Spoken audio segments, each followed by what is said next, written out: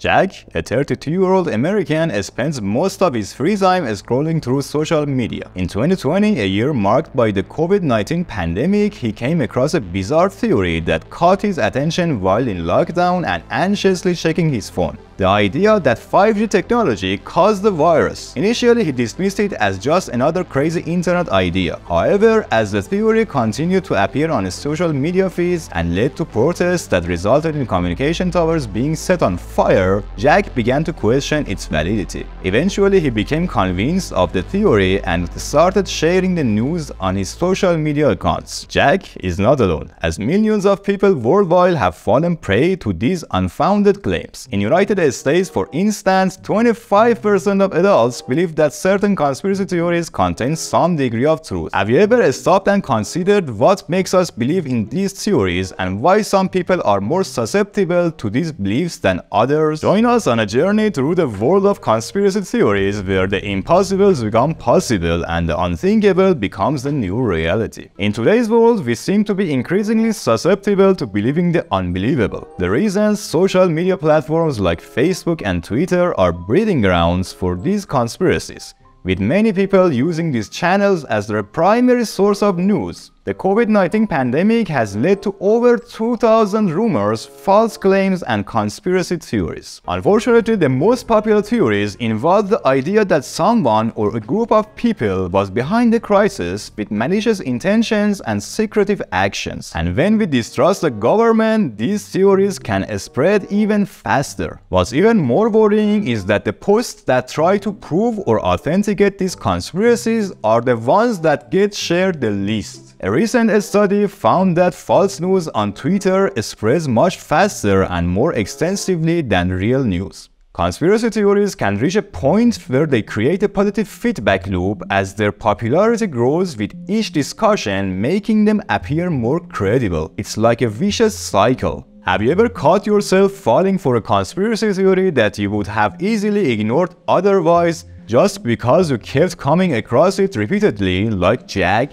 If so, you may have fallen victim to illusory truth effect. This cognitive bias causes us to believe something is true after being exposed to it multiple times, even if we know it is false. Ironically, researchers who study disinformation online and content moderators who clean up toxic content on social media are particularly susceptible to these effects making it even more challenging to separate facts from fiction in today's digital landscape. During the pandemic, many of us were feeling scared, alone, and confused. Emotions that can make us even more susceptible to conspiracy theories. And while these theories can be harmful, they offer us something hard to resist a sense of meaning and purpose. By creating an alternative reality, we can justify our beliefs and actions, protect our fragile egos, and feel the thrill of uncovering a mystery. After all, who doesn't love a good mystery? The pandemic, with its economic upheavals, lockdowns, and overwhelming uncertainty, made us particularly prone to such ideas. But it's not just our psychological and emotional state that makes us prone to conspiracies. Our personality traits can also play a role. Jack, for example, tended to react impulsively to negative emotions like anxiety, making him more vulnerable to conspiracy theories. When he heard about the rise of COVID cases, he participated in protests against 5G without considering the consequences. Additionally, his desire to stand out and be unique drew him towards unfounded ideas about COVID. Our brains are wired to find patterns in everything, from art to fashion. This is called illusory pattern perception. In 2020, some people have shared maps linking 5G towers to COVID-19 cases, suggesting a correlation. But it is important to remember that correlation doesn't mean causation. If you want to learn more about this, we have got a video that breaks it down. Interestingly, our inclination to detect patterns can also make us more susceptible to accepting conspiracy theories. On the other hand, individuals with higher education are less likely to fall for these theories thanks to their strong critical thinking skills. However, even the most educated among us can fall victim to conspiracy theories, like the idea that COVID-19 vaccines contains microchips. While certain personality traits may make some people more vulnerable to conspiracy theories, it's important to remember that anyone can fall for them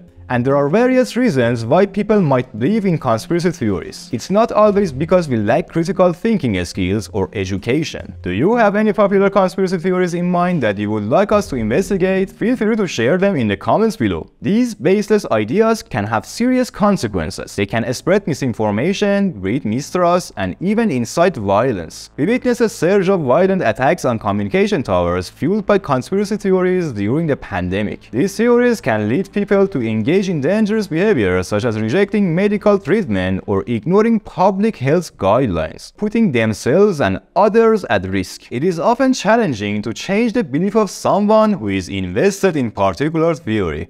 As the saying goes, prevention is better than cure. One effective way to safeguard ourselves against conspiratorial thinking is to disconnect from certain streams of news alerts and social media feeds that can fuel our anxieties. It is also crucial to question the accuracy of the claims, taking a moment to slow down and ask ourselves questions like, is this information biased or unlikely to be true? Another thing to watch out for is where the information is coming from. If all the conspiracy related material comes from one source while non-conspiracy materials come from various sources, that's a red flag. It is worth noting that some groups are profiting from spreading misinformation, whether it be politically motivated or for financial gains. It's all about being a critical thinker and examining the evidence closely. By doing so, we can protect ourselves and prevent the spread of misinformation. Thanks for watching. If you enjoyed this video, don't forget forget to like and subscribe. See you in the next video.